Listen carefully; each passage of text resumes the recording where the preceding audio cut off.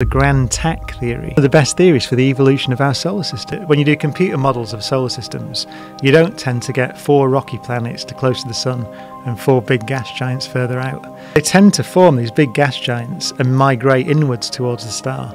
So in almost all the computer simulations, just because you've got this big gas giant orbiting in all the dust around the star, they tend to drop inwards.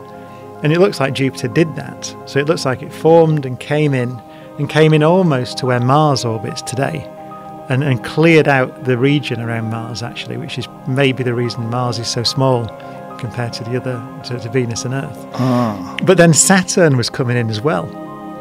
And uh, in the computer models, the interaction between Jupiter and Saturn stops Jupiter coming in before it gets to the Earth. And they both get dragged out again. and so to where they are today. Oh,